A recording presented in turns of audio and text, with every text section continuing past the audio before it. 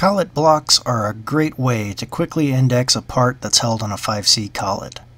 Blocks are available commercially with 4 and 6 sides, which lets you get the most commonly needed indexings 2, 3, 4, and 6. You can use them to hold anything that will fit in a 5C collet, which holds parts up to an inch and an eighth in diameter. There are other tools available with 5C shanks that will also work in these, such as fixture mounts, which are 5C shanks with a solid face that can be machined to fit your part. These are available in a variety of diameters and lengths.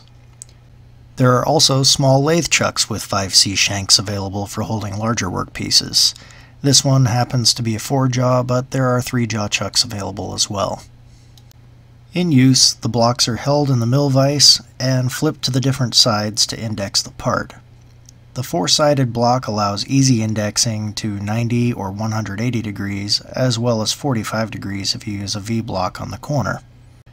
The six-sided block allows indexing for 2, 3, 6, or 12 sides, depending on whether you grip the block on the flats or on the corners.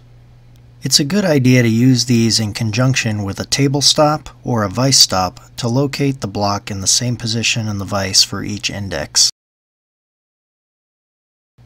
You can also use a parallel on the vice jaws as a stop for quick work.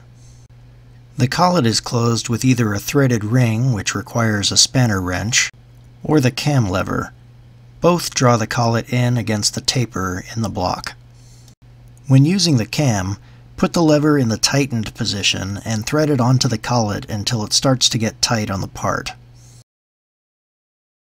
Then switch it to the loosened position and give it a quarter turn more and retighten the lever. This is usually enough to get a good grip on the part. The cam is somewhat quicker for making multiple parts, but the threaded ring still allows you to use a collet stop. Collet blocks are tools that every shop should have, and the set is reasonably affordable. At the time of this video, they can be purchased for between 50 and $75 depending on the website. It's not too hard to make the blocks yourself with any number of sides. The most important detail is that the bore is centered on the block. You can make them out of material that is already hardened, like 4140 heat treated, or out of a hardenable steel if you have heat treating capabilities. A lot of people have made 8 and 10 sided blocks to supplement the set of square and hex blocks.